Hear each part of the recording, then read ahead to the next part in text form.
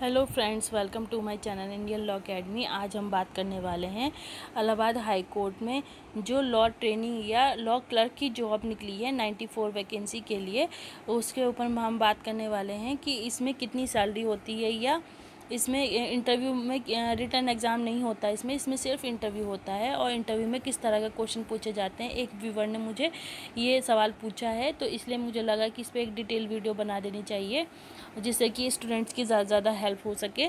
और जो फ्रेशर होते हैं, उन्हीं के लिए पोस्ट निकली होती है, जैसे ट्वेंटी वन ईयर्स ओल्ड से ट्वेंटी सेवन ईयर्स ओल्ड तक ही इसमें डाल सकते हैं फॉर्म और वो स्टूडेंट जो इसमें फॉर्म डाल सकते हैं उन स्टूडेंट्स को फ्रेशर्स होते हैं, या फाइनल ईयर वाले जो स्टूडेंट हैं, वो भी डाल सकते हैं। लेकिन जब इंटरव्यू हो के टाइम पे आपकी मार्कशीट आ जानी चाहिए, या रिज़ल्ट आ जाना चाहिए मार्कशीट आए ना आए, लेकिन रिज़ल्ट आ जाना चाहिए, जिससे आप जो आपका रिज़ल्ट है, वो उसकी फ़ोटो स्टेट ले जा सकें। और जितने भी डॉक्यूमेंट हैं, आप अपने साथ अटेस्ट करके लेकर जाएँ जब इंटरव्यू होगा। और सबसे पहले हम बता देते हैं कि इंटरव्यू के टाइम पे किस तरह के क्वेश्चन पूछे जाते हैं। तो 94 वैकेंसी निकली है, जैसे कि आप सभी देख पा रहे होंगे। तो इसकी लास्ट डेट ट्वेंटी अगस्त है। मुझे आई एम श्योर कि आप अब तक ये फॉर्म फिल कर चुके होंगे, लेकिन जो लोग नहीं किया है ये फॉर्म लेकिन आगे इन फ्यूचर आप करना चाहते हैं, इस फॉर्म को सबमिट करना चाहते हैं या इस पोस्ट के लिए अप्लाई करना चाहते हैं, उनके लिए लीगल अवेयरनेस या हेल्प की तरह होगा, आपको पहले से ही इन्फॉर्मेशन मिल जाएगी। तो ये ना सोचे कि इंटरव्यू में ज़्यादा क्वेश्चन नहीं पूछेंगे या बहुत ही लिबरल होंगे, ऐसा कुछ नहीं है। आपसे बहुत सारे क्वेश्चन पूछे जाते हैं, जैसे कि आपका सबसे पहले पूछा जाता है, फैमिली बैकग्राउंड वगैरह पूछा जाता है। फिर सैलरी चूँकि इसमें फिफ्टीन थाउज़ेंड है, अगर आप बाहर के स्टूडेंट हैं तो आपको वहाँ पर रहने के लिए भी आपको खर्च करना पड़ेगा पैसा। तो इसलिए आपके ऊपर काफ़ी बर्डन बढ़ जाता है।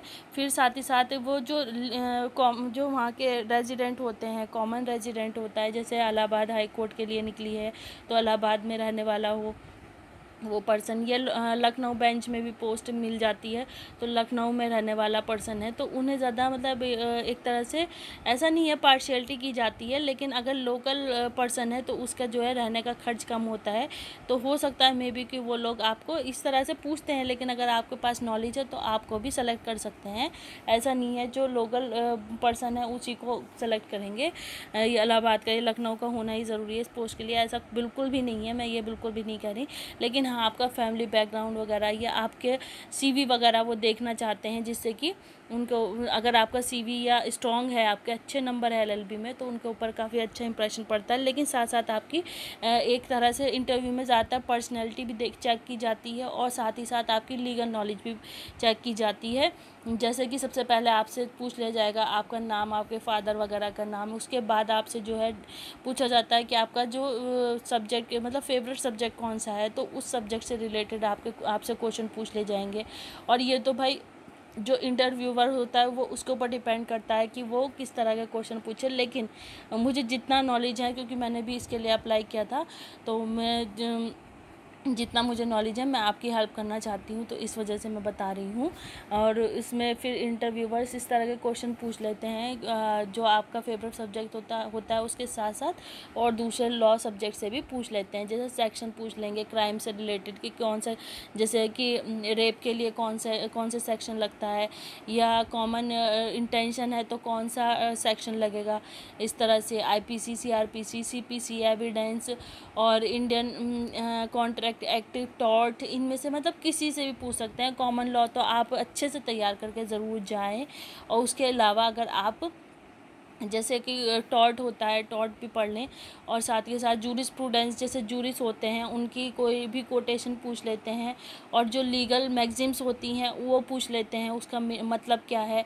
और कौन से एक्ट में ये लागू होती है वो मैगजीम जैसे कि कॉन्ट्रैक्ट लॉ से रिलेटेड मैगज़िम होती है और क्रिमिनल लॉ से रिलेटेड मैगज़िम होती है तो इस तरह की जो मैगज़िम होते हैं वो भी पूछ लेते हैं, कई बार ऐसा भी होता है तो और केस लॉ भी पूछ लेते हैं तो आप हो सके तो इंटरनेट की हेल्प ज़रूर लें इंटरव्यू की तैयारी करने के लिए, और अगर आपको लगे तो शॉर्ट नोट बना के ले जाएँ और अपना एग्ज़ाम इंटरव्यू से पहले उसे ज़रूर पढ़ लें, और जैसे कि केस लॉ वगैरह जान ले कि कौन सा फ़ेमस जो केस लॉ हैं और लीगल अवेयरनेस वगैरह होनी चाहिए तो इसलिए केस लॉ भी पूछ सकते हैं। जैसे हाल फ़िलहाल में जो करंट में चल रहा होता है, उसके बारे में पूछ लेते हैं।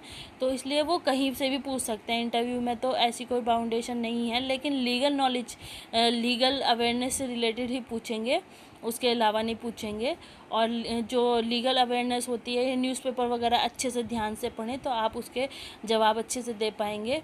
और हेजिटेट होने की ज़रूरत नहीं है आपको काम भी किया जाता है वहाँ पे। इंटरव्यूवर्स बोलते हैं कि डरने की ज़रूरत नहीं है सिर्फ़ हल्का फुल्का इंटरव्यू हुई होता है ज़्यादा वैसा तो नहीं होता लेकिन अच्छी नॉलेज हो, होनी चाहिए। वो क्वेश्चन कहीं से भी पूछ लेते हैं और डायरेक्ट क्वेश्चन पूछते हैं खैर घुमा फिरा के तो बिल्कुल नहीं पूछते। तो आज के लिए इतना ही। अगर आपको ही पसंद आई हो वीडियो और थोड़ी भी आपकी हेल्प करे तो मुझे, मेरे चैनल को लाइक करें और शेयर करें, ज़्यादा से ज़्यादा शेयर करें, जिससे जो फ्रेशर हैं उनकी हेल्प हो सके। क्योंकि ज़्यादातर फ्रेशर्स को पता नहीं होता या फिर जो आगे इन फ्यूचर इस एग्ज़ाम को देने वाले हैं या इस इंटरव्यू को अटैम्प्ट करने वाले हैं, उन लोगों के लिए, जिससे कि पहले से ही गाइडेंस मिल जाए और उनका टाइम बचे। और अगर आपको ये वीडियो पसंद आए तो ज़्यादा से ज़्यादा लाइक करें, शेयर करें और मेरे चैनल को सब्सक्राइब करना बिल्कुल ना भूलें। और इसको जो है वीडियो, सब्सक्राइब बेल आइकन ज़रूर दबाएँ जिससे कि आपको मेरी जो भी करंट वीडियो वो आपको मिलती रहे। आज के लिए इतना ही। अगर आपको मेरी वीडियो पसंद आए तो इसे लाइक ज़रूर करें। Bye bye. नेक्स्ट वीडियो तक के लिए।